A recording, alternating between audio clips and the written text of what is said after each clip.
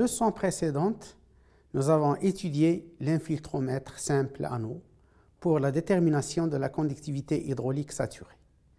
Nous avons montré que ces mesures sont affectées par la divergence des flux d'infiltration d'eau. L'équation de Wooding permet de prendre en compte cette divergence lors de l'interprétation des résultats. Mais, mais, cela reste une approximation. L'infiltromètre double anneau a été conçu pour surmonter cette difficulté. Comme vous pouvez le voir sur la photo, cet infiltromètre est composé de deux anneaux concentriques. Ces deux anneaux sont enfoncés sur une dizaine de centimètres dans le sol. Ensuite, un même niveau d'eau est maintenu à la fois dans l'anneau extérieur et dans l'anneau intérieur. L'infiltromètre double anneau est donc un infiltromètre à charge constante car on maintient la même épaisseur de lame d'eau tout au long de l'expérience. À droite, vous voyez une représentation schématique du double anneau de la photo de gauche. Comme pour l'infiltromètre simple anneau, l'eau qui s'infiltre va être affectée par la divergence des écoulements. Cependant, cette divergence affectera surtout le flux provenant de l'anneau extérieur. Comme on le voit sur le schéma, les flux au niveau de l'anneau intérieur ne sont que peu affectés par la divergence. L'anneau extérieur agit donc comme une barrière circulaire qui favorise l'infiltration verticale de l'eau contenue dans l'anneau intérieur. Le flux mesuré au niveau de l'anneau intérieur est donc plus facile à interpréter car il est essentiellement unidirectionnel vertical. En réalité, il est difficile de garantir la condition d'écoulement unidimensionnel vertical sur l'anneau interne. Cette condition est assurée immédiatement en dessous de l'anneau interne. Mais plus on s'éloigne vers le, bas, plus l'écoulement sera dévié par rapport à l'axe vertical. Il y a donc bien un effet de la divergence des écoulements sur le flux d'infiltration à partir de l'anneau interne. Cependant, l'erreur commise sur la vitesse d'écoulement sera d'autant plus faible que le diamètre de l'anneau extérieur est grand et que le diamètre de l'anneau intérieur est petit. On évitera cependant de prendre un anneau intérieur trop petit pour ne pas créer des, artefacts lors de l'enfoncement de l'anneau dans le sol. Plus l'anneau est petit, plus on risque de compacter le sol lors de l'enfoncement. L'impact des écoulements préférentiels entre le sol et la paroi de l'anneau sera également plus marqué si l'anneau intérieur est petit. Au niveau de l'anneau extérieur, on se contente de maintenir le même niveau d'eau que dans l'anneau intérieur. Aucune mesure n'y est effectuée. C'est au niveau de l'anneau intérieur que l'on mesure le flux d'infiltration. Pour cela, on utilise par exemple une bouteille de Mariotte qui permet à la fois de maintenir le niveau d'eau constant et de mesurer la quantité d'eau apportée en mesurant la baisse du niveau d'eau au cours du temps. Cela permet donc de déterminer le débit d'infiltration. En divisant le débit par la section de l'anneau intérieur, on obtient le taux d'infiltration. En général, le taux d'infiltration décroît dans le temps au fur et à mesure que le sol s'humecte et que le front d'infiltration descend. Pour des durées suffisamment longues, l'auto d'infiltration se stabilise pour atteindre une valeur constante. Le régime d'écoulement a atteint alors un régime permanent. Nous avons donc mesuré l'auto d'infiltration au niveau de l'anneau intérieur. Comment à présent déterminer la, la conductivité hydraulique à saturation? Pour cela, nous pouvons repartir de l'équation de Darcy. Comme nous connaissons la densité de flux, J, il nous reste à déterminer le gradient de charge totale. Pour cela, nous pouvons nous inspirer de ce qui a été vu pour le perméamètre à charge constante dans la leçon 3 du chapitre 3. Supposons d'abord que la profondeur du front d'humectation est connue, nous l'appellerons ZW. Ensuite, faisons l'hypothèse que la charge matricielle au niveau du front est.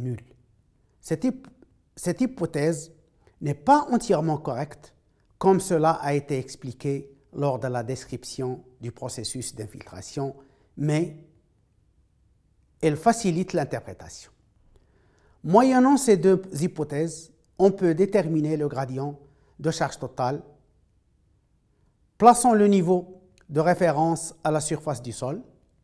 Dans ce cas, la charge totale à la surface est égale à la charge hydrostatique, c'est-à-dire D. Au niveau du front, d'humectation, la charge totale vaut ZW. Par conséquent, le gradient de charge totale est égal à D plus ZW sur ZW. Nous pouvons à présent calculer facilement la conductivité hydraulique à saturation. Avant de montrer un exemple de calcul, voici comment on peut déterminer la profondeur du front d'infiltration. Pour cela, on doit prélever une carotte de sol sous l'anneau central immédiatement après la fin de la mesure d'infiltration.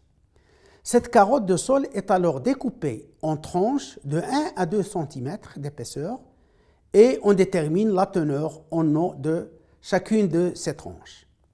On fait de même à l'extérieur de l'anneau, dans une zone proche mais non affectée par la mesure d'infiltration.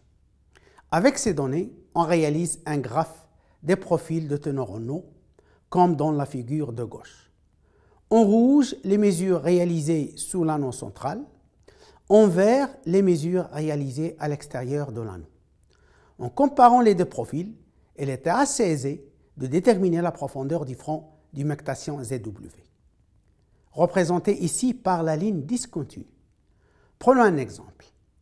Soit un infiltromètre dont l'anneau intérieur possède une section de 0,07 m, 0,07 m carrés.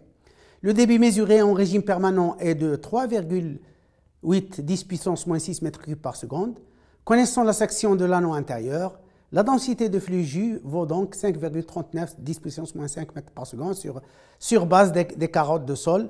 On détermine que le front d'infiltration se trouve à 80 cm de profondeur la charge d'eau dans l'infiltromètre était pas ailleurs de 20 cm. Par conséquent, le gradient de charge totale vaut 20 plus 80 sur 80, soit 1,25. Connaissant la densité des flux et le gradient de charge, on peut calculer la conductivité hydraulique. Celle-ci vaut 4,31 10 puissance moins 5 mètres par seconde. La détermination de la profondeur du front d'infiltration ZW n'est pas toujours aisée, surtout si le sol est déjà très humide au départ. Par ailleurs, la scission au niveau du front n'est pas connue. Vu ces difficultés, il est courant de faire une troisième hypothèse simplificatrice, à savoir que le gradient hydraulique est égal à 1. On suppose donc que lorsque le régime stationnaire est atteint, l'eau ne s'écoule plus que sous l'effet de la gravité. Cette hypothèse sera d'autant plus réaliste que l'épaisseur de la lame d'eau dans l'anneau est faible par rapport à la profondeur du front et que le potentiel matriciel au niveau du front est proche de zéro. Si nous reprenons l'exemple précédent et en faisant l'hypothèse d'un gradient unitaire, nous trouvons que Ksat vaut 5,39 10 puissance moins 5 mètres par seconde. En fait, on fait donc une erreur de 25% par rapport au calcul précédent. Il faut savoir qu'une telle erreur n'est pas nécessairement un grand problème, car l'incertitude sur la détermination de la conductivité hydraulique à saturation est généralement très grande. Il n'est pas rare que la conductivité varie d'un ordre de grandeur d'un point à l'autre d'une parcelle. L'infiltration double anneau, l'infiltromètre double anneau est généralement utilisé pour mesurer la conductivité hydraulique des sols dans des intervalles de conductivité allant de 10 puissance moins 5 à 10 puissance moins 8 mètres par seconde. Son utilisation est très simple. Néanmoins, néanmoins on doit respecter certaines hypothèses et critères. Tout d'abord, on doit avoir atteint le régime permanent et l'écoulement doit être unidimensionnel vertical pour l'anneau central. Par ailleurs, le sol doit être homogène et isotrope. Enfin, il faut appliquer une charge hydraulique modérée de l'ordre de 10 à 30 cm. Si la charge d'eau est trop importante, il n'est pas il y a un fort risque de fuite et l'écoulement pourrait ne plus être laminaire.